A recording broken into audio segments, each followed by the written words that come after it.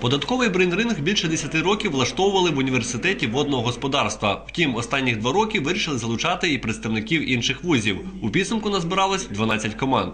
Ми готувалися місяць, читали, збиралися командою разом, обговорювали деякі питання і положення податкового кодексу України, тому що все-таки податкове законодавство воно є досить складним і постійно змінюється.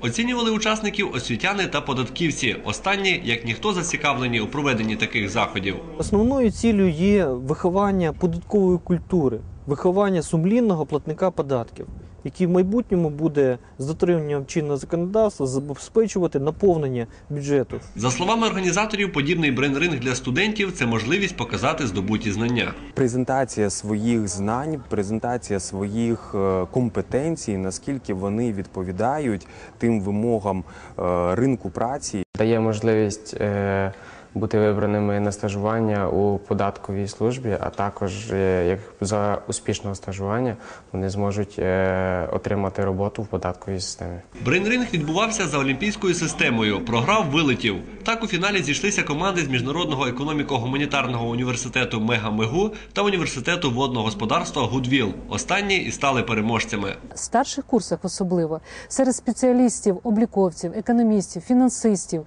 всіх вищих навчальних закладів, які випускають цих спеціалістів за напрямком економіки і підприємництва, рівень знань досить високий. Організатори планують провести податковий брейнринг і наступного року, тому запрошують усіх бажаючих. Юрій Шарманський, Микола Мельничук. Інформаційна програма Ramadan.